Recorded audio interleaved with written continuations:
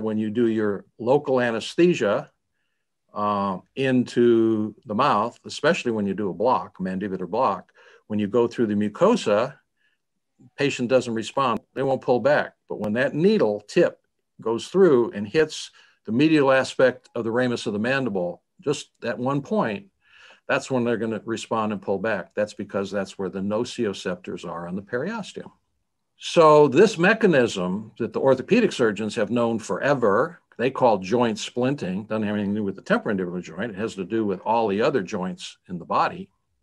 Well, that mechanism works for the temporomandibular joint. It's exactly where it works. This joint is just a joint like any other joint. And it's not so special that like you learned in dental school, everybody talked about how special this joint was. No, it's, it's not really special. It has different anatomical design to it, but it's a joint, just like any other joint.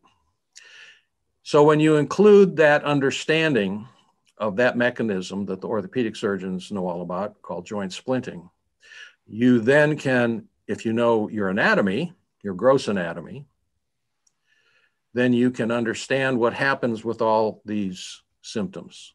And it's quite simple. When the joint becomes inflamed because of the three primary causes, which are bruxism, um, functional malocclusion, and trauma. Both, all three of those cause either acute or chronic inflammation and, and chronic pain.